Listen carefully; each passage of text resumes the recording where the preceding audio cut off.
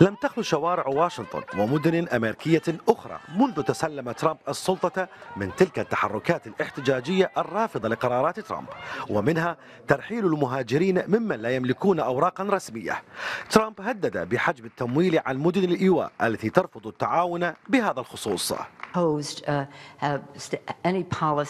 في ظل سعي العالم إلى توفير المساعدة للاجئين نحن شعب مكون من المهاجرين وقرار عدم استقبال اللاجئين السوريين أمر صادم ويفطر قلبي ويشعرني بالاشمئزاز.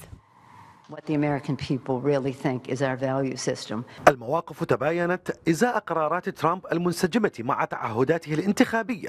في ظل تردد الكونغرس في تمرير تشريعات تلقى معارضه سياسية وشعبية تتسع دائرتها يوما بعد آخر.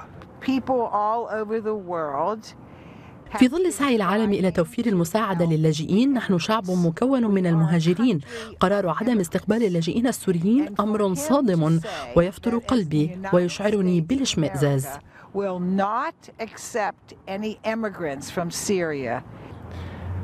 Banning immigrants now التوجه إلى حظر دخول المهاجرين يستند إلى مشاعر الخوف لدى الفئة المتحكمة التي تنوي تجسيد مزيد من القوة والصلاحيات بين أيديها.